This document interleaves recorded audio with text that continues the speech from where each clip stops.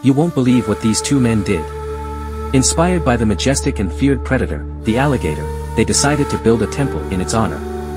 Just wait and see how these two men, using only their hands and craftsmanship, create an enormous alligator, the size of a small airplane, through their amazing skills and hard work, these two artists created something truly beautiful.